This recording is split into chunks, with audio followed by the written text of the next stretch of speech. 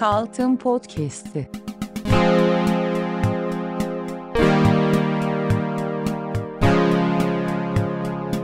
On ikinci bölüm.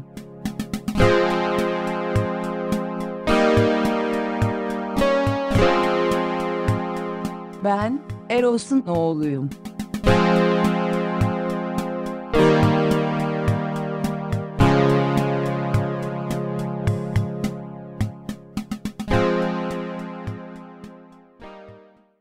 Merhaba ben Erman Obama Çağlar.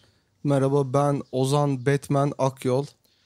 Ee, sizlere Altınoluk'tan Kaltın Podcast'i yazdık özel bölümünden merhabalar diyoruz.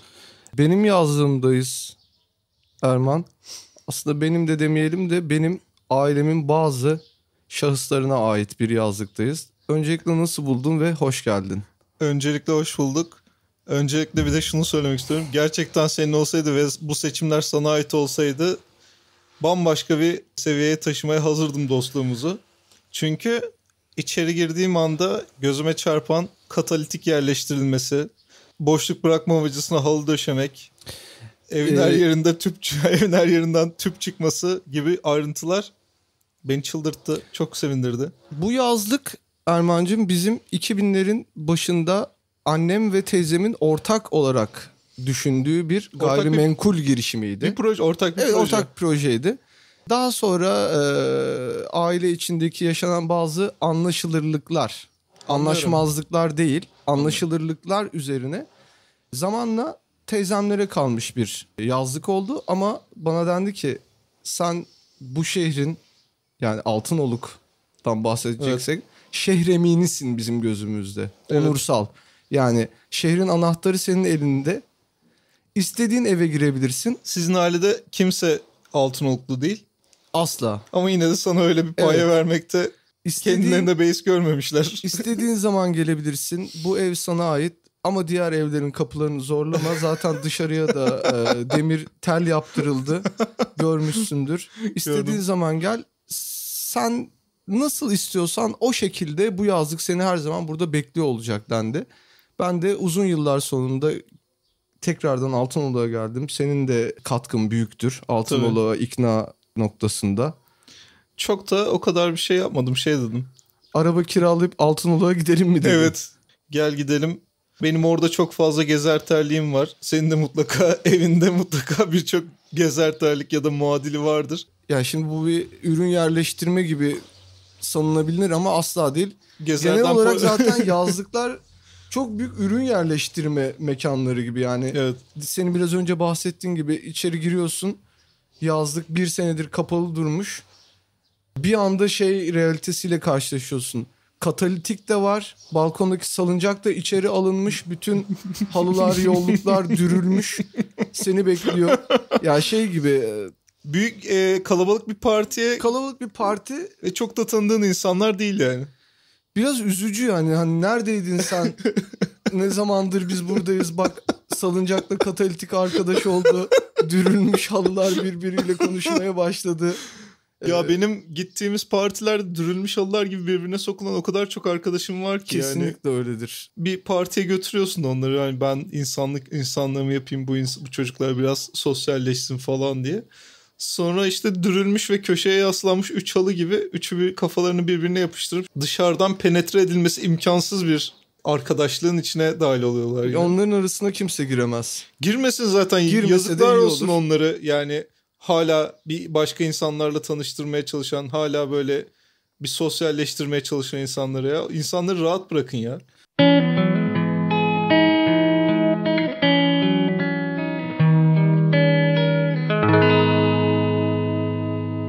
Çile dolduran halılar üzerine. Çok büyük bir baz istasyonu kurulmuş buraya ve e, eski komşularımızı tanıyamadım ben. Yani çünkü buradan saçılan e, radyo, radyoaktif ışınımlar ya da bilmiyorum manyetizma. Şimdi bana karşı komşumuz ilk geldiğimiz gün hoş geldiniz dedi. Aha. Acaba o karşı komşumuzun dedesi mi yoksa çocuğun kendisi mi? Hayır, eski Sınava girip- eski komşu sınava girip mi Hem gelmiş? YKS stresi hem de yoğun baz istasyonu belki de onu 60 yaşında gösterecek bir hale getirdi. Ama- Bilemiyoruz. Kaliteli yaşlanmış. Ne İyi olduysa. yaşlanmış. bir yandan komşuların da seni tanıyamadılar. Ben seni Tabii ki. getirdim ya. e, biz çok şık beyaz bir beyaz araba kiraladık. E, güzel camları filmli falan.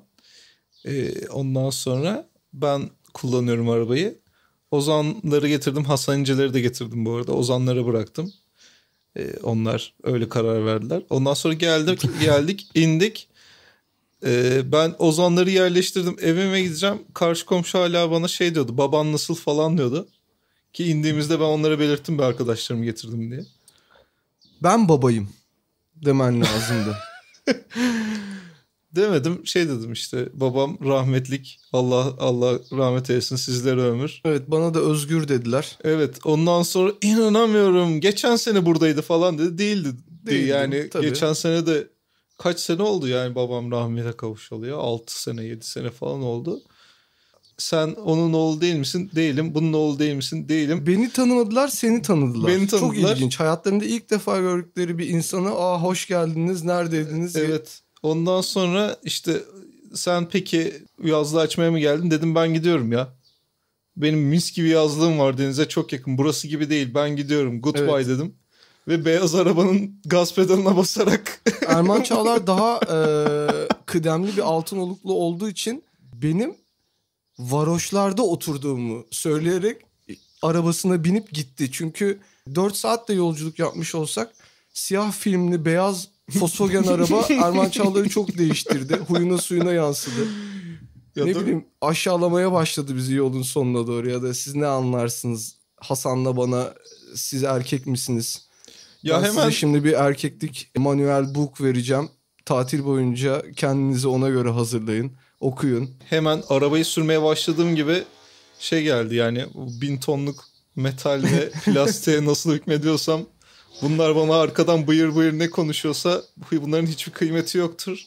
Bunların müzik zevkinin de bir kıymeti yoktur. Ben şimdi kendi bildiğim müziği açacağım gibi üstten bakma geldi. Güzel bir yolculuktu ama. Sonra ama ertesi gün hemen aynı yolu bir daha gittim işte hanımı e, çocuğu almak için. Ondan sonra bir ertesi gün hemen de döndüm. Toplamda bin kilometre yol. Ondan sonra bütün o şey geçti.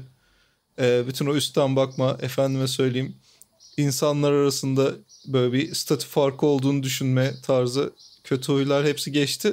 Biraz çünkü çile gibi oldu. Hani o kapatıyorlarmış ya eski e, dervişleri kömürlük gibi bir yere. Tabii ki çilehane. Evet.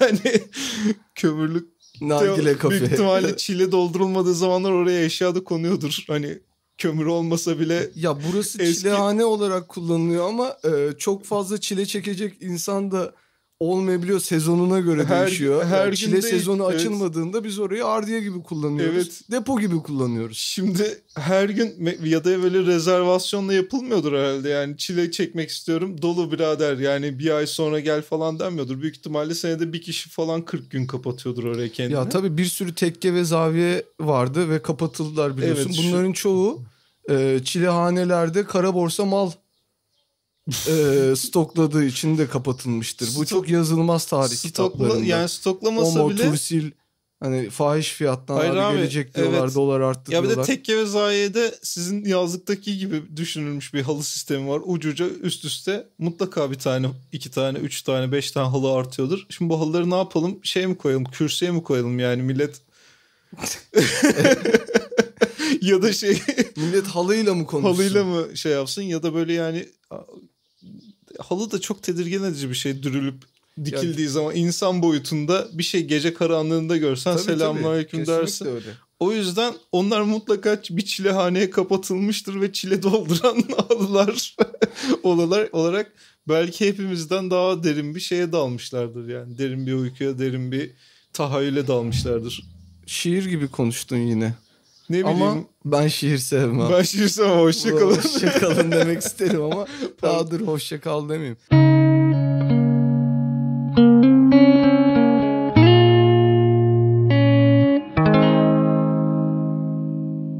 Kilo ile et üzerine. Benim biraz e, şeyden bahsetmek istiyorum. Yolculuğumuzdan bahsetmek istiyorum. Valla bayılırım. Arabaya atladık ve e, Orhan Gazi Köprüsü'ydü galiba değil mi? Valla Orhan Gazi mi Osman Gazi mi? Çünkü Yani Orhan Gazi Gebze'den yazınca da şeyi çıkıyor. bağlayan, Bursa'ya Evet bağlayan büyük pahalı olan köprü. pahalı olan köprü ve e, üzerinde Starbucks olan köprü diye geçer tarihte. Yani e, siz Osmanlı'nın kurucu kadrosuyla Starbucks'ı yan yana getirebiliyorsanız Tabii. gerçekten bir medeniyetler köprüsü inşa etmiş oluyorsunuz oraya aslında. Starbucks'a benim de girişim. Hey canım. Starbucks'a bir girişim var usta. Neyse e, şey çok dikkatimi çekti. Yani her zaman dikkatimi çekiyordu da yani önceden çok büyük efsanelerin isimleri dağlara yazılırdı ya. Evet. E, hatta yani dağı dayanmış insanlar var. Ferhat ile Şirin, Kerem ile Aslı, Leyla ile Mecnun. Ben bunun artık yerini kilo ile köfteye bıraktığını düşünüyorum. Yani o güzel ikililer bir yenisi daha eklendi galiba. Ki bu kadar fazla kilo ile köfte e, yazısı acaba neyin aşkıdır? Gerçekten kilo ile köftenin aşkı mıdır? Yani onların ikisinin birbirine duyduğu aşk mıdır yoksa kilo ile köfteye duyulan aşk mıdır dışarıdan? Ben bu tamamen Batılıların Eastern Promises yani Doğu Şark vaatleri. şark vaatleri dedikleri şeyin tam karşılığı olduğunu düşünüyorum. Kiloyla köfte. köfte. Çünkü yani sen artık bacakların yavru ceylana dönmüş saatlerdir e, kö- e, araba kullanıyorsun. İçeridekiler hani başkasının nefesini koklamaktan baymış. Altın e, bir de yazlık yolu yani genelde şey gittiğin yol kalabalık gittiğin yol. Tabii. Altın eşya üstün eşya kucağına vermişler havlu mavlu. Ve seni hani gerçekten benim şu an tam olarak istediğim kiloyla köftedir diyen bir insan var mı? Yoksa görünce de şey yapan bir insan kanan var mıdır? Yani ba- bana şey gelmedi ferahlatıcı bir düşünce olarak gelmedi kiloyla et. Kilo ile et ya da evet. kiloyla et, köf- kiloyla köfte kendin pişir kendin ye saç tava. İnsanın derisini kabartan düşünceler bunlar yani. köy kahvaltısı. Bir de aslında bunların hepsi bir yandan da şey gibi.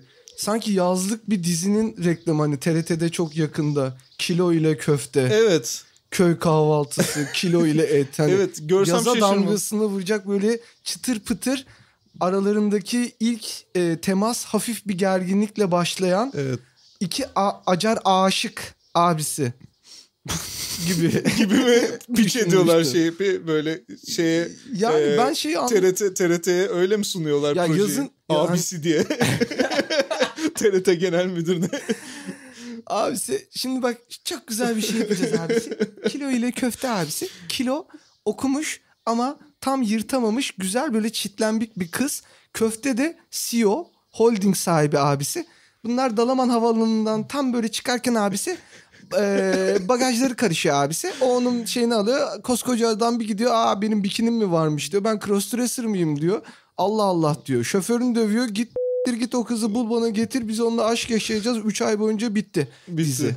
Tamam. Ozan'cım yani şimdi tabii e, şu an e, ortalı ortamı görmeyen arkadaşlar için biraz açıklayayım. Biz e, Ozan Akyol'un yazdığının balkonundayız. Arkamızda 1, 2, 3, 4 tane e, beyaz plastik sandalye sayıyorum. Sandalyeler kişisizlikten, insansızlıktan birbirlerine oturuyorlar. Birbirine oturmuş balkonda. dört tane plastik siesta fiesta sandalye onları ısıttıracaksın bana şimdi. Kolunu zaten güneş yemekten çıtır çıtır olmuştur onlar. Gözünün önünde birinin kolunu birinin bacağını koparacağım ve lütfen diyeceğim sana. Tabii ki. Ben biraz fazla şey yaptım. e, Ya ben hoşuma kızdım gitti. gibi oldu bazı şeyler ama Yok. Yazın gelişini ya da baharın gelişini müjdeliyor ya bazı çiçekler. Evet. Doğa uyanıyor. Kilo ile köfte de e, yazın gelişinin bir şey gibi ve anlamadığım bir nokta var. Herkes bütün kış boyunca özellikle zaten bu korona e, insanları mahvetti. Eve tıkadı. Herkes giyilmiş terlik gibi oldu evlerde. Pantuf, panduf terlik gibi oldu. Hani Oh. çok aşırı giyilmekten ezilmiş. O eski konforlu şişkinliği kalmamış panduf terlik gibi oldu. Yazı bu kadar bekleyip e, yaza dair birçok kavramın bu kadar osuruk olmasının nedeni nedir? Mesela işte dedim ya yazlığa geldim. Ya yazlık evin içinde normal evde kullanılmayan bütün her şey buraya doldurulmuş. Yani bu eve önem gösterilmiyor. Bu ev artıkları yiyen bir obez çocuk gibi davranılıyor. Ya da yani nasıl diyeyim? hani hiç ilgilenilmeyen bir e, Babaanne mi? e, babaanne gibi yani yazlık dedin. Madem yazı bu kadar seviyoruz yazlığımız niye böyle şey Bir- halde ya? Biraz babaanne gibi giydirilmiş zaten. Ya bak yani senin ailen ben yani tanıdığım kadarıyla inanılmaz kaliteli bir aile. Teşekkür keyifli, ederim. Keyifli ve e, zevk sahibi bir aile. Hakeza sizin ailenizde, senin Teşe- ailende. Teşekkür ederim. Ama yani şu yazlık ayağa kalkıp yürüse şu sadece bileği açıkta bırakan kapriler var ya. Evet. Yani altında o olur. Altında şey terlik olur işte o gezer terlik olur. Üstünde de atlet olur yani öyle gezer ortalıkta. Tabii ki zaten Altınoluk'un genel nüfusu Çeçen güreşçi gibi geziyor. Evet. O e, bol bileğe kadar kapri şişkin. Üst tarafları da atlet üze- olmak üzere. Bir şey soracağım. Şuracıkta yenişelim mi sizinle diye. Bir şey soracağım. Bir, Çeçen misiniz? ya şimdi buna da bir şey gelmesin de Çeçen güreşçilerle ilgili siz kime ne diyorsunuz falan filan diye. Birader Bulgar diyelim yani. Bulgar diyelim. Şey diyelim yani Türkiye'nin güreşçinin bir yer diyelim yani. Kötüsü, iyisi kötüsü olur mu? Güreşçi yani. Güreşçi dedin kulağını hiç gördün mü güreşçileri? Gördüm tabii canım. Ben Edirne'liyim. Et döveceğiyle dövülmüş gibidir Dövülmüş yani gibi. işte. Kilo ile et belki de Öyle. bir güreşçinin ismi olması gerekirken hani şey gibi e, Amerikan güreşçilerin lakapları var ya Evet. Thunderbolt falan diye sol köşede de kilo ile et. Köfte by numbers. Ben e, ufak bir anıyla bölmek istiyorum Tabii senin. ki. Efendime söyleyeyim. Ben tabii Serhatlar şehri Edirne'de uzun süre yaşadığım için ve e, yağlı yağlı güreşlerin de aynı zamanda düzenlendiği ve hani böyle orada kıymet gösterilir yağlı güreşleri. Evet. O memleketten geldiğim için Edirne'den geldiğim için bizim orada e, işte Edirne'de hem güreşçiler hem de böyle kıspet yapan bilmem ne yapan falan filan e, zanaatkarlar el üstünde tutulur sevilir. Ve bu insanlar yıl boyunca çalışır. Çalışırmış benim ondan haberim yoktu. Ben normal Yani senenin yıl bir günü boyunca şey mi Kırkpınar'a mı hazırlanıyorlar? Evet evet evet. Anladım. evet. Hummalı bir şekilde kıspetler dikiliyor, yağlar hazırlanıyor. İşte zeytinyağının asiditesine dikkat ediliyor. Tabii tabii tabii. Güreşçimizin gözüne kaçmaması gerekiyor. Öyleymiş ben çok bilmiyordum da yani şöyle öğrendim. Bizim orada Edirne'de bir tane Lozan anıtı var. Şimdi Lozan kıymetli bir anlaşma olduğu için Türkiye için Evet. oraya anıtı Bayağı. dikilmiş. Çok da güzel modern bir e, eski demiryolu binasının de, demiryolları binasının böyle eski model Rus tarzı bir binanın çevresinde böyle bir ormanlık bahçelik alan var. Şey bahçesi gibi saray bahçesi gibi. Onun içinde bir tane Lozan anıtı var. Güzel modern de bir anıt yani öyle belge imzalayan el değil yani. ne ya da... koyulmuş peki ben onu söyleyecektim. Heykel olarak ne düşünülmüş? Ya Anlatan. böyle şöyle düşün. Biraz spor ayakkabı logosu gibi bir şey düşünülmüş. Yani Hmm. şey modernizmi gibi e, Rus endüstriyel modernizmi gibi. Hmm. Yani böyle e, şöyle alttan gelip yukarı çıkan böyle füze gibi bir şey. Önünde bir tane kadın var. Kadın işte e, etekli bir bayan. Evet. Elinde çok hatırladığım kadarıyla söylüyorum. Sonra bakarız tekrar ne kadar bilebildiğimde de. Bir tane elinde galiba sayfa var. Yani kağıt var bir tanesinin elinde de kağıt var. Şurayı imzalar mısınız gibi bir duruşu var kadının. Ama bir yandan da Yani iyi ki şu iyi ki bu böyle bir ortamda bir araya geldik. İyi ki böyle bir ya iyi ki geldiniz der gibi yani duruşu var. koskoca Lozan zaferinde Ha bir de güvercin var. güvercin mi var? Evet yani o barış işte. DSP de olabilir. DSP de olabilir. Her yerdeler. Yani hangi dönem yapıldığını bilmiyorum şu an anıtın heykelin ama koskoca Lozan zaferinin e, simgesi, nişanesi olarak oradaki belki de hani katip kadının efendim bu e, bu kalemle mi imzalayacaksınız? Bu mavi dolma kalem gibi bir duruşla mı Yok sergilendiğini? hayır hayır kadın e, şey gibi değil. Katip gibi değil. Kadın e, mesela medeniyetin şeyi Ama gibi. heyette hatırladığım kadarıyla kadın delege yok Lozan Yok delegesi. nanay. Yok barış Orada- kavramı kadın olarak ha, anladım. e, resmedilmiş. Ve et- etekli bir kadın olarak resmedilmiş. Ama şey bir etek değil yani öyle e, mini bir etek değil herhalde. mini kot etek değil yani hani Anladım. e, Pantolon etek gibi mi? pantolon etek olsa çok çirkin olurdu. Kıymetsizleşirdi o Evet. bütün kazanılan kazanımlar. ya da yüksek bel mi? Yani hani Yüksek bel ben beğeniyorum. ya belki de şöyle düşünmek lazım. toplumsal hafızayı canlı tutabilmek için ya da böyle hani bizim kazanımlarımızı simgeleyen büyük anıtların belki de çağa ayak uydurulabilir şekilde sürekli update edilebilir olması lazım. Mesela belki de o kadının Ha, her sene eteği her giydirilmesi- sene mesela şimdi artık yüksek bel moda Evet. crop top giydirilecek üzerine de. Bu Sen bayana bir- crop top giydirilecek. gerekiyor. Yani çünkü Belediye neden yeni mi nesili Lozan'ı nasıl anlatacağız bu kıyafetlerle? yani orada yüksek belli gördüğünde en azından genç kızlarımız şey görür. Aa bakar mısın? Zamanında atalarımız ne kadar güzel giyiniyormuş. Çünkü o bizde çok büyük bir fetiştir ya. Evet. Yani aileden tut şeye kadar e, herkes zamanında annesinin ne kadar güzel giyindiğiyle övünür. Evet. Ben de şunu derim onlara. Şu an anan öyle giyiniyor mu? Evet. Sadece bunu derim. yani çünkü olay zamanında güzel giyinmektedir. Şimdi tekrardan şey geleceğiz. Çeçen güreşçi gibi o uzun kapriyi giyiyorsa annen zamanında istediği kadar karpuz kol giysin, istediği kadar yüksek bel kot giysin. Evet. Şu an dönmüş dediğim gibi güreşçiye. Doğru yani e, ne der 100 metre yarışı değil şıklık bir 100 metre yarışı değil bir maraton sonuçta. Aynen ve ben çağdaşlıkta devamlılığı esas alırım. Çok doğru. Tutarlılığı ben, esas alırım. Ben yani o senin anlattıklarının özünde yatan heykellerin her sene yeniden giydirilmesi fikrini çok beğendim ve bununla ilgili hemen Change.org'da bir izin olursa imza kahvaltı imza kahvaltısı değil tabii imza kampanyası Ya tabii başlatıyorum. ki mesela atıyorum e, Allah gecinden versin ama Peki kim giydirecek e, bunları? Yılmaz Büyükerşen. Sadece o mu? Çünkü Yılmaz Büyükerşen hem heykele hakim hem de iyi giyinmeye hakim. Ee, çok yine tartışılır şeyler söyledim Yani- iki noktada da. Yani nasıl diyeyim ne bileyim ben bir deri mont, deri mont giymiş İsmet İnönü heykeli görmeyi çok isterim. Ama böyle şey gibi metalci rider'ı gibi. Birader deri montu ben giydim giymiyorum ya. Ama işte onun kesimi çok önemlidir. Ya sen. İsmet İnönü'nü giydirmeden önce beni bir giydir ya. Bir götür beni şeye. Seni giydirdiğimizde çıkarıyorsun sen bu bana Çıkartıyorum, olmaz ben diye. Ondan sonra diyorsun ki bu bana olur muydu?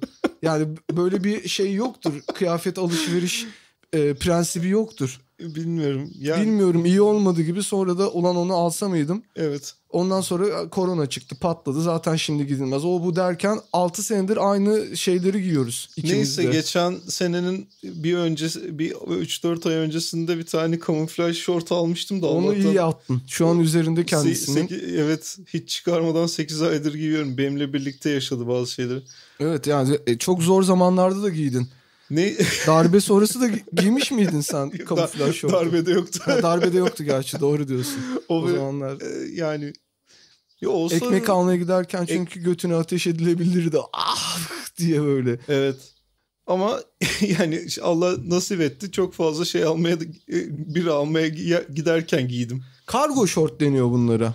Biliyorsun. Kargo şort bence bunun e, şıklığını alan bir tanım. O Bence yüzden de. ben kamuflaj şort deyip geçeyim derim. Peki kargo şort derken sektör olarak kargo mu yoksa müzik grubu olarak kargo mu? Çünkü onlar da çok kötü bir ara şortlar giyiyorlardı hatırlıyorsan. Evet. Hani yazlık klipleri meşhurdur. Ah hey hey hey adlı Bağcıklı, şarkısı. bağcıklı şortlar giyiyorlardı ve bağcıkların hani ne yapacağım bağcığını onu bağlayacak mısın gerçekten Ya şortun? bağcıklı şort şu paçayı büzmeli evet. şey mi diyorsun? Onun tek bir açıklaması olabilir.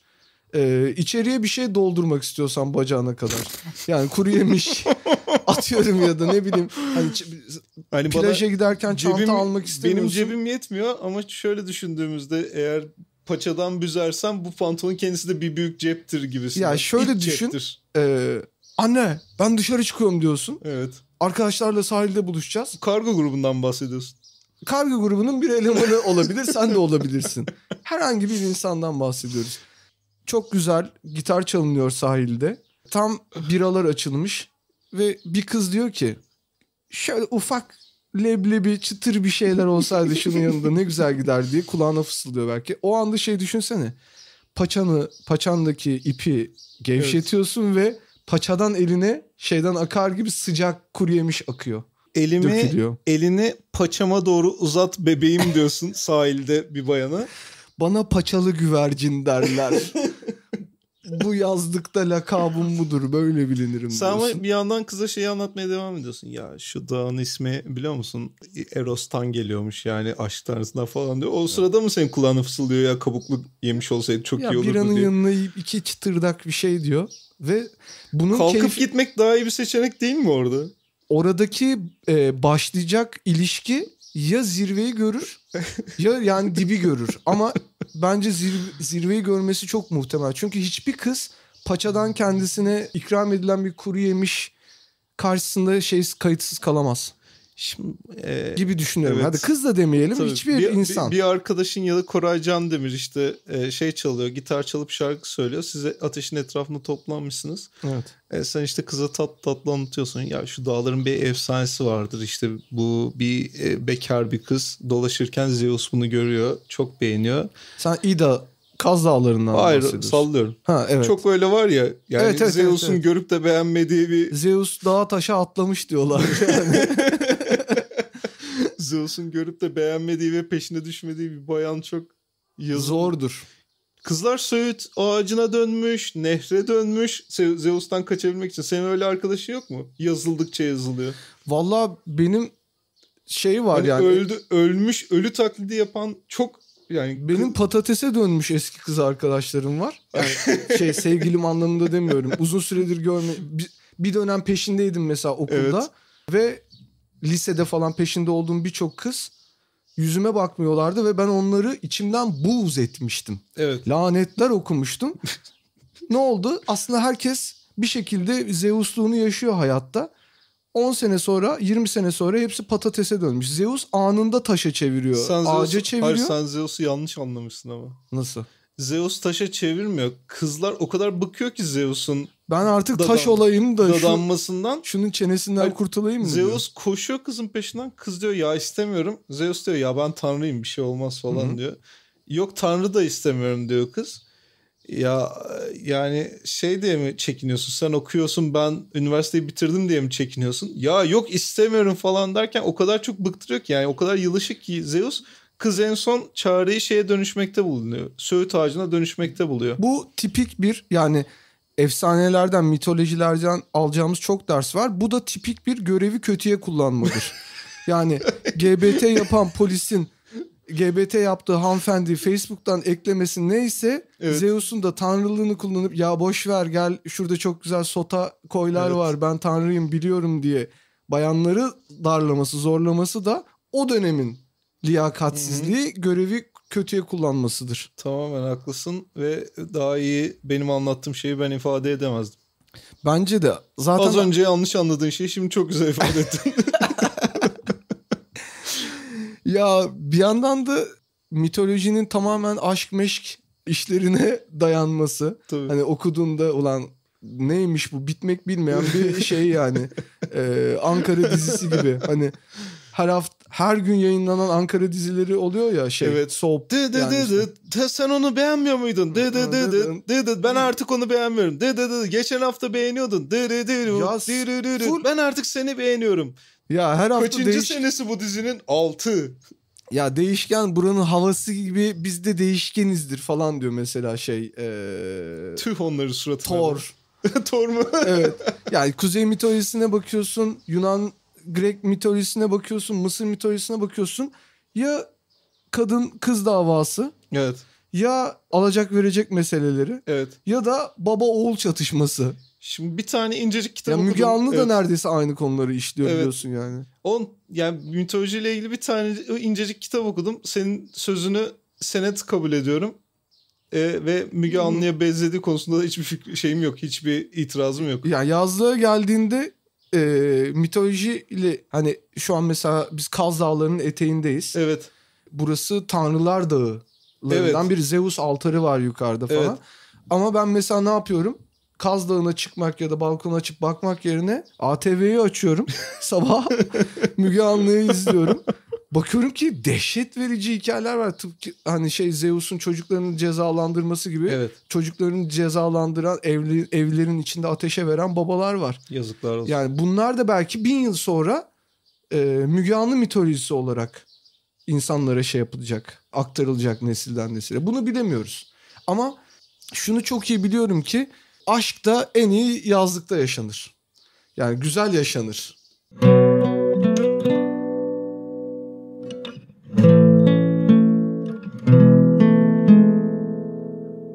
Aşk kaçamakları üzerine.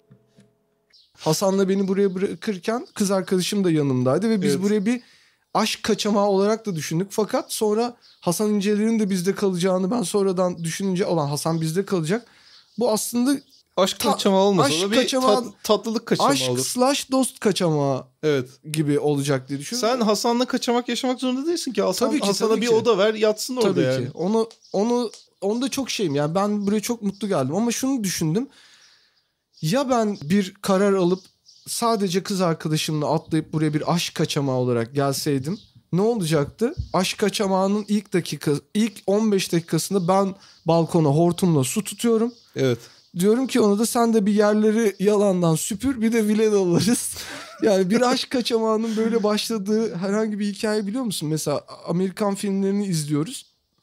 Alec Baldwin e, kış evine ya da yaz evine çok Evet. güzel Michelle Pfeiffer hanımefendi, Michelle e, işte ya da Sharon Stone'u alıyor Pardon götürüyor. siz Michelle Pfeiffer mıydınız Sharon Stone muydunuz? Adam eve Ben bir Sharon giriyor. Stone'um. Bir senedir gidilmemiş ev cillop gibi yani. Biraz toz tutmuş ama ne yapıyor mesela o toz tuttu Onu- diye evi hortum tutmuyor.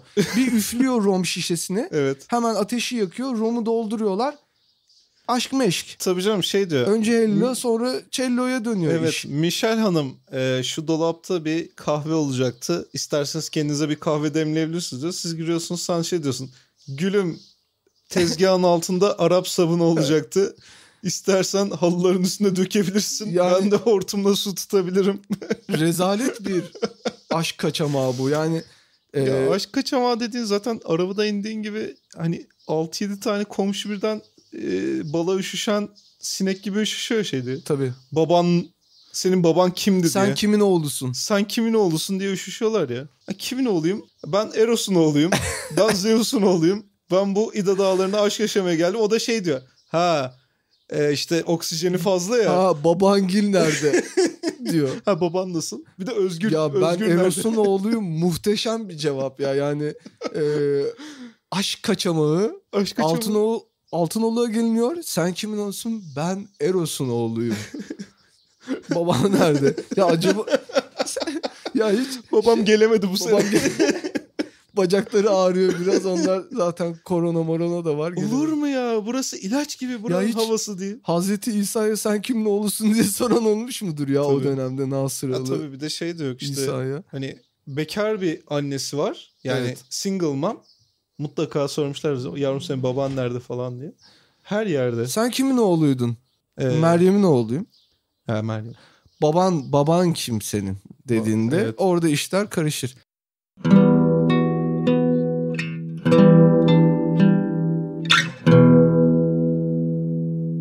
Ufalanıp dağılan bilgiler üzerine. Evet. Bir ufak hoşluktan bahsedeyim. Latince'de testis şahit olmak demek. Testamentte şahit yani o şey şahitlik demek. Hı hı. Testicle'da erkeğin erkekliğine şahitlik eden vücuttaki tek organ olarak. Yani sen erkek misin? Evet. Kim buna şahit olabilir?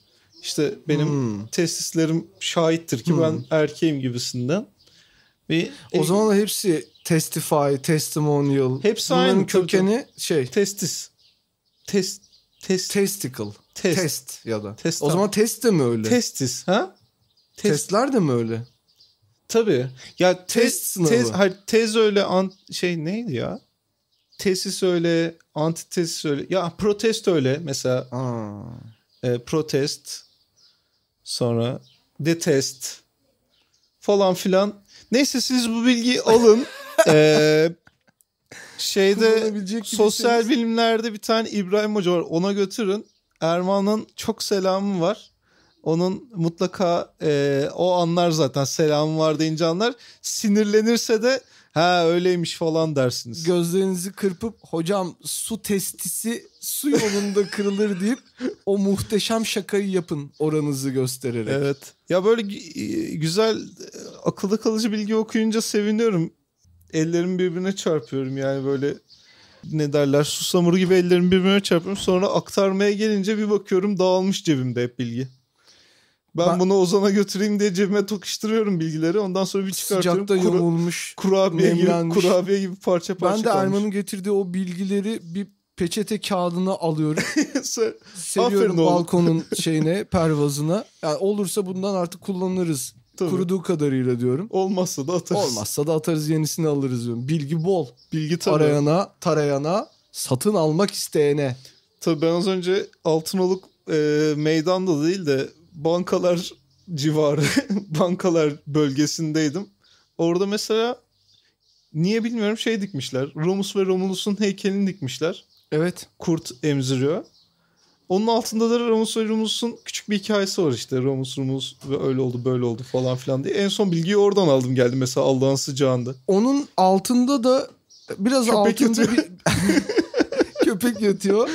Ee, bir altında da yine bir bayan heykeli var. Hı hı. Ben onunla ilgili hiçbir bilgi alamam. Hatta dün gece sizin evden bizim eve dönerken de tekrardan baktım. Allah Kazlı, Allah, bir kazlı şey yok. bayan mı? Kazlı bayan değil. Bir tane başka bir bayan. Kazlı bayan mıydı bilmiyorum Önünde ama kaz olan bayansa onda İde Kaz Dağları bilmem ne falan. ben yapsa. onu şey gibi düşündüm. Hemen alt tarafta Vardar dondurma var ya 101 Evet. çeşit. O 101 çeşiti de yemiş bayan gibi düşündüm. Onun heykeli asılmış ol asılmış diyorum. Dikilmiş olabilir. Diyabet hatun diyor. Diyabet Hatun. C- camii diyecektim. Diyabet Hatun anıtı. Olabilir. Yani 101 çeşit dondurma için ne düşünürsün? 101 çeşidinin olması gerekir mi do- dondurma? 101 çeşit dondurma için Atari'de 101 in 1 diye şeyler Evet. kartuşlar vardı ya. Evet. Yani onu düşünüyorum. Kesin bir yerden sonra sallamaya ve e, Tabii ki. şey yapmaya başlamışlar. Aromalar birbiriyle aynı hani. Bu sütlü, bu yanık sütlü, Evet. bu ineğin yanık sütlüsü, bu mandanın yanık sütlüsü, bu inekle öpüşmüş bir mandanın Tabii sütünün zaten şey. inanmıyordum. Hani 101 in 1 diye kaset geçtiğimde elim hani şey yapmıyordum hani öyle umudumu ona bağlamıyordum. Ama mesela kaça kadar gidecek ona bakıyordum. Bir Mario vardı. Mario Brothers. Hı hı. Ee, ondan sonra gidiyorsun Tank gidiyorsun. vardı. 29'dan sonra mesela şey var. Ne derler? Sönmez Brothers gibi bir şey var. Onu açıyorsun o da Mario. Sadece biraz renkler değişmiş. Hadi diyorsun 30'a kadarmış. 30 oyun kötü değil. Ya üzücü işte ya şey de öyle ki. 30 oyun yaz üstüne. Niye 101 yazıyorsun ki? Dünya nüfusu için de öyle. Ya toplasan 100 tane 150 tane insan var. Geri kalanı hepsi onların şey versiyonları gibi. Ulan bu da bunun aynısı. Bu Evet. da bunun aynısı. Ya bu bunun kadar- aynısı diyorsun yani. Bundan daha fazla herhalde katılamazdım şimdi. Kendimi bir ölçeyim. Yani şey konuşmayayım, boş konuşmayayım da gerçekten en fazla katılabileceğim şey bu olabilir. Dünya üzerinde ifade. Yani bence bir yerden sonra şey ortak şeyde hani ortak bölenlerin en büyüğü mü bulunmalı? İnsanlar için de bir OKEK, OBEP sistemi. bir şey yapmak zorunda değilsin o zaman. Niye kendini bir şey yapmak Zaten bir zorunda şey değilsin? yapmak isteyen ondan sonra gitti fırınlar açtı. Evet. Neyse daha da uzatmak Ekmek fırınından istemiyorum. bahsediyor. Ekmek fırından bahsediyorum. Sönmezler. İnsan fırınından Allah bahsediyorum. korusun. Allah Yok bir şey korusun yapmak zorunda ona. değilsin ya. Bırak yaşasın insanlar ya. Ya işte ama yaşadıkça görüyorsun bak sesi duyuyor musun? Karpuzcu geçiyor. Ne oldu belli değil. Karpuzcu dediğim birçok insan sütçü çıktı burada. ya o yani hani yaşamın şeydir balıdır kaymağıdır o ya o tarz sürprizler. Bunların hepsi büyük bu baz istasyonundan kaynaklanıyor olabilir. Bu seslerin çoğu. Mandallama yaşanıyor. Dinliyorum şu an. Geldi galiba. Geldi. Gelmesi önemli onun. onun o da zaten şeyi e, çok yaşamıyor. Yani satış işini çok yaşamıyor. Daha çok gelme işini yaşamıyor. Bir şey bir şey bir şey bir şey sadece şeyi anlıyorsun. Geldi anlıyorsun. Demek ki onun için kıymetli olan gelmek yoksa şeyi söylerdi, net söylerdi. Ne Ayağınıza geldi. olduğunu. Ayağınıza geldi, avucunuza geldi. Ah pardon yüzünüze geldi. ben istememiştim ama ayağınıza geldi. Saçınıza geldi ama hemen Hmm, silerim. silerim. Sorun değil. Ben çok şey yapıyorum. Çok çıkıyorum. Hani geldi o ge- bir Evet. ses var. Evin her yerinden yansıyor yani. Böyle Hı hı. hani e, aynalar labirentinde dövüşen dövüşçüler oluyor ya böyle bir Evet. tanesi pislik aynalar labirenti yapmış evinin altına. Öteki dalıyor işte ben bunun ağzını burnunu kıracağım artık yani diye. Hı hı. Ondan sonra sağa bakıyorsun sağda gülüyor. Sola bakıyorsun solda gülüyor. Bazen öyle bir oluyor ki işte dışarıdan işte o geldi bu geldi falan diye bir ses geliyor. Yatıyorsun hiçbir cevap vermiyorsun. Bir daha bağırıyor. Çok yakından bağırıyor. Bir şey geldi. Çok güzel yani hani çok güzel olduğunu iddia ediyor. Bir türlü ne olduğunu duyamıyorsun. Ulan yeter ne oluyor anasını satayım diye sokağa fırladığında. Bir çıksan ben gelmişim. Sokağa... Erman ben geldim. Ozan Akyol Yani geldi. dostun Ozan Akyol geldi. Uzun süredir beklemiyordum belki ama bununla gelmek istedim. Hayır sağa sola bakıyorsun. Hiçbir şey yok ya. O kadar gürültü nereden geliyor? Ulan yani hani artık çıktım yani yattığım yerden de kalktım. Muhteşem bir kanepem vardı. Orada bir kendime yer belirlemiştim. Onu bırakmak zorunda kaldım. Arka sokağa gidiyorsun yok. Ön sokağa gidiyorsun yok. Biraz aşağı bakıyorsun yok yok yok Allah yok yani. Gitmiş. Belki de işte hani Geldiğini belirtip gitmiş yani. metafor olarak kullanacaksak belki de erkekliğimiz gelip gitti o mahalleye. Bir süre yakalayabildiğinde Bağırıp bağırıp bağırıp, bağırıp gitti. İçkili. Aynen. Erman uyan. Akşam gezmesi gibi. Erman uyan. Kaçırma Erman çal- erkekliği. Erkek- 2 kilo almamız lazım eve. O işte akşam gezmesi gibi yani Fasari akşam gezmeleri oluyor. Her yere Evet. gidiyorsun kendini gösteriyorsun. Gelmiştir Evet. işte bal gibi işte tarladan muhteşem falan diye Tabii bağıra ki. bağıra geziyorsun. Sonra ulan bu neymiş diye çıkan bakan olursa da yok ortalıkta. Ya bence o şeylerin de o, o şey duyguların, hislerin, kavramların da öyle ayağa gelmesi lazım. Yani haftada bir geçer. Mesela işte ne bileyim kendine güven, dürüstlük, dostluk, ne bileyim e, yaşlılara saygı e, ya da bazı bazı duyguların da şeye e, nasıl diyeyim faturaya tabi olması gerekiyor. Mesela Fatura- Erman Çağlar Erman Çağlar erkekliğiniz borcunuz nedeniyle kapatılmıştır. o çok başıma geldi. Birçok kez başıma gelmiş bir durumdan E, bahsediyorsun. gecikme faiziniz şudur. Gecikme faiziniz şudur fakat gecikmeseniz de ne fark ederdi ki? Bu faiz zaten binecekti onun üstüne. ya benim yani şu geçen gün bu anlattığım biraz hoş bir şekilde başıma geldi. Sen evde yalnızdım bir gün yani uzun zamandır olmayan bir şey. Ve ev- İstanbul'da mı burada mı? İstanbul'da. hı. Evde yalnız kaldığım için de tamam aklım gitmiş yani. Beynimi bırakmışım kapı girişinde. Bundan sonra yani kanepeye nasıl yatacağımı şaşırıyorum. İstanbul'un ortasında durduk yere ş- kamyonet satıcı geldi. İşte domates diye domates ama ne, ne sattığı çok belli. Sadece domates satıyor ve çok ısrarcı o konuda. Bir kere işte domates diye bağırdı. Ben de güldüm ya domatesle ne işim olur koyayım benim diye. Sonra tarladan abi diye bağırdı.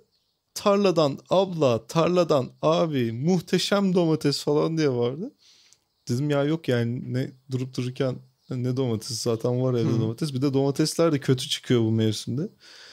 Muhteşem domates abi. Ya dedim domatesi ne yapacağım? Sonra böyle adeta cevap gibi şey dedi. Yemeğini yaparsın abla diye bağırdı.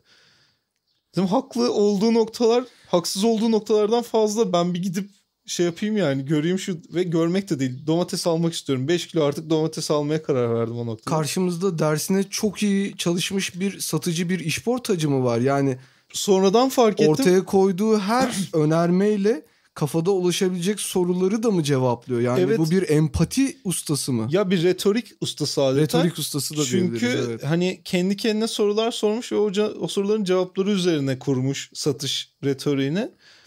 Hani sen tam işte tam olarak o sırayla cevap verdi yani ben ne yapabilirim? Yani bu zamanda çok güzel olmuyor domates. Çok güzel. İşte kim bilir nereden ne yaptılar. Tarladan. Ne yapayım lan ben domatesi? Yemeğini yaparsın. Ya Şöyle beni şey yaptı yani köşeye sıkıştırdı ve Tarladan olmayan bir domates var mı? Var, var. acaba? Seradan var. Ha sera. Öyle o anlamda. Evet Koesera var. Ondan sonra dedim ya ben domatesi almaya gidiyorum hoşça kalın.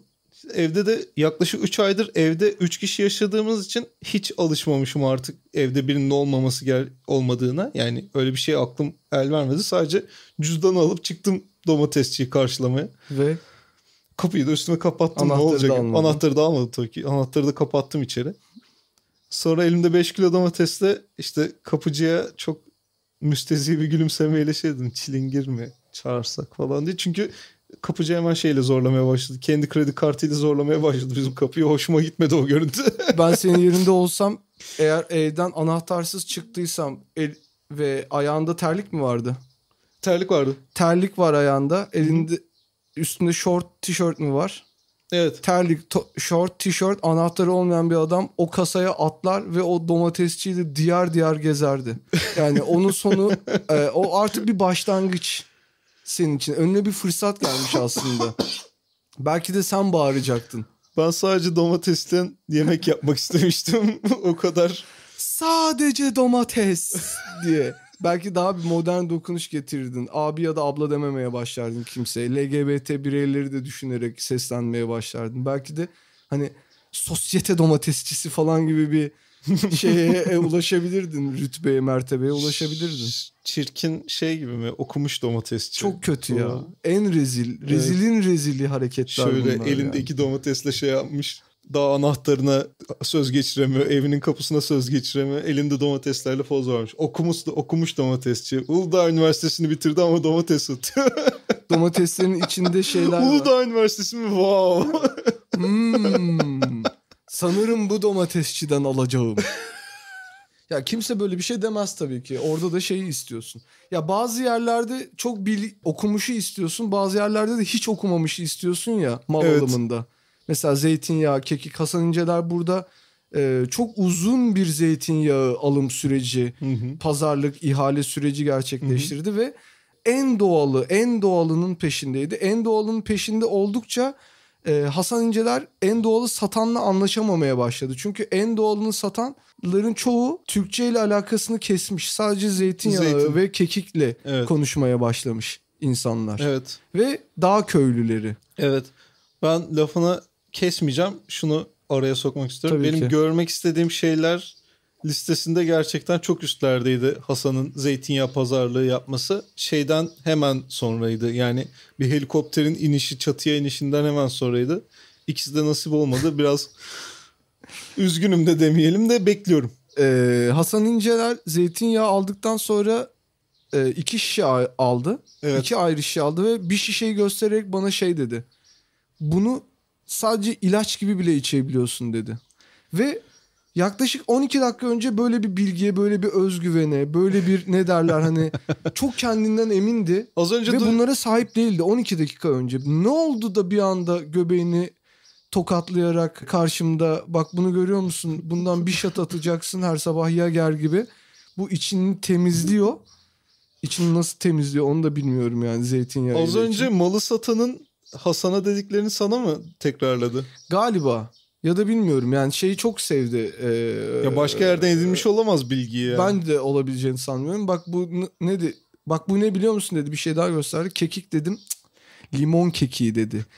Ya Hasan gerçekten şu an ağzını o e, el dezenfektanlarıyla yıkamak sanitizör istiyorum. mü? Sanitizör müydü işte neydi onlarla yıkamak istiyorum dedim Hasan'a. O da şey dedi oğlum işi bileceksin işi bilenle konuşacaksın dedi.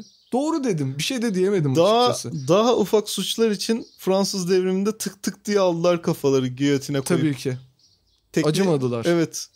Hadi babacık, hadi babacık diye koydular o kafacık şeyleri kafaları. Tamam, tamam abicim, tamam hadi diye. Yani belki de Fransız devriminde de halka doğrudan zeytinyağı, kekik, dağ kekiği satan birkaç şey olsaydı köylü, çiftçi Evet. belki biraz daha sinirler alınmış olacaktı. Çünkü insanlar çok mutlu oluyor. Eşek sabunu, işte ayakla yapılmış zeytinyağı yani doğalının doğalının doğalına ulaşmaya çalışırken bir anda şeyi unutuyorsun. Hayat gailesini unutuyorsun. Tabii, için de ben- savaştığını unutuyorsun Bir de- hayatta. Bir anda savaşın şey oluyor. Şeye karşı oluyor. Vücuduna karşı. En iyisini vücuduma sokmam gerek. Çünkü benim vücudum en iyisi gibi oluyor bir yandan da. evet. Ya bir de onlara bir ivedilik, bir hızlılık geliyor ya evime gideyim de şunu süreyim diye. Tabii. Yanıklara da iyi geliyormuş. Her şey yapabiliyorsun bu zeytinyağıyla. Her şey yapabiliyorsun. Bir şey bir şeyle her şey yapılamaz. Bir şey her şey iyi olamaz. Yani bir numarada onu şey yapacaksın, dikkat edeceksin. Bir şey satılırken en fazla 3 tane falan şey söylemeleri lazım. Bu abi şuna iyi gelir, şuna iyi Fonksiyonu gelir. Evet, gerekiyor. şuna iyi gelir. Eğer dördüncüyse yani o biraz şey gibi olur. Hani eskiden karaoke'de yapabildiğim VCD player'lar vardı ya. Tabii. Onun gibi olur. Yani ne VCD'si doğru düzgün çalışır ne karaoke'si doğru düzgün çalışır. Dikkat edeceksin o. Bir de ben VCD player'la niye karaoke yapmak isteyeyim ki? Kim bunun böyle bir ihtiyaç olduğunu düşünmüş Dün mesela? senin Yani multifonksiyonel olmasını hangi ihtiyaç sebebiyle düşünmüşler ya da piyasada hangi açığı görmüşler de böyle bir şey gerekmiş bu insanlara. Yani işte orasına bakıyorsun SD kart sokulabiliyor. Burasına sok bakıyorsun işte şey sokulabiliyor. Sen de dün gördük ya bir tane insan boyutunda bir cihaz. iki tane hop kolon üst üste e, bir dükkana girmiştik. Tabii. X boss Xbox bir şey geçen bir ağır baslı bir eğlence merkezi diye düşünülmüş. Biraz öyle düşünmek lazım. Üç Ya- tane şey hani bu ne işe yarar ve her şeye gelir diyorsa Ya ben dün işte e, Altınoluk'taki foto mıstığa gittim. E, biliyorsun birkaç belge scan etme işimiz vardı evet. ve scan etme konusunda Altınoluk'ta lider sektöründe öncü firmanın foto mıstık olduğu söylendi bana ama foto mıstığın da ben mıstık mı mistik mi olduğunu tam anlayamadım logosundan girişte. Büyük bir ihtimalle mıstıktır. Evet. Niye biri mistik bir fotocu olduğunu iddia etsin durduk yere Altınoluk'ta? Eskiden vardı mistik fotocular. Şey peri fotoğrafı çeken ilk daha manipülasyon daha yeni Ha keşfedilmişken şey böyle e, ölüleri de toplayıp çekiyorlardı. Onlardan mı bahsediyorsun? ölüleri toplayıp değil de şeyi bu e, ruhları ve perileri çekebildiğini iddia eden fotoğrafta Tabii. manipülasyonla insan kandıran şeyler hatta ünlü yazar Arthur Conan Doyle e, bunların tuzağına düşmüştür. Bunlara para kaptırmıştır. İsteyen araştırabilir. Bazı bilgileri yanlış biliyor olabilirim. Bunu doğru bildiğimi hatırlıyorum. Olabilir ama ben sanmıyorum ki o Öyle bir şey ol- fotoğrafçılar aynı zamanda dükkanlarında e, olta balık yemi de satıyor olmasınlar. Ya Welcome to Altınoluk Belediyesi. Şimdi nereye girsen alt, olta takımı göreceksin. Artık o kadar şaşırmayı bırak yani. Sizin içeride de var olta takımı. İşte ben yanlış görmediysem şey gördüm foto mıstıkta. Hem şey e, parlak balık şeklinde bir e, yem, evet. e, şey yem, metal yem. Evet. Aynı zamanda tırnak makası olabilir. Ama kim mesela şey balık tutacağı e, o sahte yemin aynı zamanda tırnak makası olmasını ister. Yani hangi Hı hı. balık dur bir ilk önce ayak tırnaklarımı keseyim, el tırnaklarımı keseyim Evet. de başlayayım demeyeceğine göre. Bazı şifalı balıklar tırnağa geliyor ya. Evet et el ayak yiyorlar onlar. Allah diye hemen böyle et, el ayak yiyorlar ya. Belki de öyle bir balık Ya senin peşinde. cehennemin onun cenneti oluyor ya. Senin E, cehennemin onun Mesela tatil işte köyü oluyor. sede- sedef hastalığı, egzama, senin cehennemin onun tatil köyü. Yani belki de biz de doğanın öyle şeyli kanserlerini yiyoruz gibi olabilir yani. Ya mesela ağaçta şey Hmm. diye düşünüyor olabilir yani. Benim ne güzel sarkan şeylerimi yediler. Ne güzel değil. En boktan yerimi yediler diye düşünüyor olabilir. Çünkü balık senin egzamanı, sedefini E işte yediğinde onun sedefi sen de diyorsun kerize bak. Gitti mis gibi götüm dururken şeyi yedi. pul pul olmuş diz kapağımı yedi. Ayak parmak aralarımdaki iltihaplı egzamaları yedi diyorsun. öyle demiyorsun da Allah Allah diyorsun yani. Mesela ağaçta Tabii bir ananın mucize. ağaçta dutu yiyene bakıp şey diyordur Allah Allah diyordur. Bu- Yani. Umarım şey olmaz. O egzamalı insan eti parçalarını yemiş balıkları yedirmek zorunda bırakmaz Allah kimseye yani. O Heh. noktaya gelmeyiz. Ha. Balık seni yiyor sen balığı yiyorsun. Ya balık senin egzamalarını yiyor. Sonra diyorsun ki benim sıra bende. yani egzamanı yiyen balığı yedirmesin Allah diyorum. O duruma düşürmesin. Her zaman daha güzel Evet. deniz levrekleri, çupralar, sarı kanatlar, mırmırlar bunlarla beslenelim. Daha ne isteyebiliriz ki? Peki o zaman bu- istersen bu güzel temenniyle Bitirebiliriz. tam olarak sonuca bağlanmamış 8 6 6 8 9 10 falan konu kaldı. Onlar Ya Erman'cığım ben yazlığa geldiğimizden beri gerçekten mesela yere bakıyorum yer. evet. Yukarıya bakıyorum yukarı. Sana bakıyorum sen. Yani hiçbir çağrışım yok beynimde. Beynim mal gibi. Yani ayağıma bakıyorum ayak. Dışarıya baktığın şeyin- Hiçbir kafamda hiçbir fikir yok gibi. Hiçbir düşünce yok hı. gibi. Bu iyi mi kötü mü bilmiyorum. IQ'muz düştü mü 30'lara 40'lara? Yok iyidir. Robocop öyle yapmışlardı ama sonra Robocop yine kendi şey yaptı. Yani zaman içinde tanımaya başladı yani. Abi benim arkadaşımdı falan. Sanırım Robocop'ta baktığı şeyin ismi çıkıyordu gözünün önünde çünkü. evet yani bu sürecin Şişedir, sonunda suçludur. belki de hani bir 3 hafta içinde eve bir geleceksin ben yokum. Benim yerime evde kocaman bir kilo ile et şeyi var, pankartı var. Ben de ona dönüşmüşüm. Ya zihinler evet biraz barkod okuyucuya dönüşüyor. Yani böyle barkod okuyucunun önünden geçirirsin der ya sana bu zeytinyağı diye. Zaman içinde. Ha bu zeytinyağı. Ha zeytinyağı. Ha selpak. Ha karpuz olmalı. Allah herkese öyle bir şey nasip etsin ya. Zihin eee, sakinliği, efendim olaysızlık. Herkese temiz fayanslar, eee, Arap sabunlu halılar diliyorum. Bu yazlık beldeden kaydettiğimiz ilk podcast'imizde. İkincisi sanırım daha da öyle su üstünde süzülür bir halde olacak. Yani bu bir niyettir. Biz niyetimizi belli ettik. Biz işimizin başındayız. Yazlıkta da olsak, ayaklarımız çıp çıp fayansa da basıyor olsa, hortum da tutsak aslında o hortumu hepinize tutuyoruz. Yani Evet, ayağınıza doğru tutuyoruz. ayağınıza doğru tutuyoruz. Sizler bizim için kıymetlisiniz. Umarım hayatlarınızda öyle zeytinyağlarıyla karşılaşırsınız ki hem yemeğe koyarsınız, hem salataya koyarsınız, hem ekmek banarsınız, hem de şifa niyetine sabahları bir şat atarsınız. Hoşça kalın. Hoşçakalın.